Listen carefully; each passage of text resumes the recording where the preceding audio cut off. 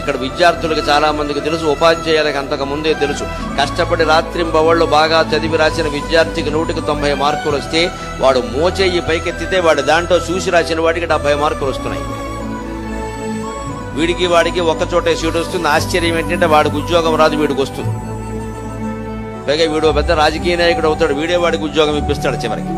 నాతో పాటు చదువుకున్నాడంటే అనవసరంగా బాగా చదివాడు దెబ్బతిన్నాడు వాడికి ఉద్యోగం ఉండండి వాడు దాంట్లో చూసి రాసేడు వీడు. మార్కులు రావడానికి అంత కష్టపడి చదవడం ఎందుకండి? అవసరం లేదు. జ్ఞానం కోసం అయితేనే చదవాలి. అటువంటి జ్ఞానం కోసం చదివినటువంటి చదువు ఎలా ఉంటుంది?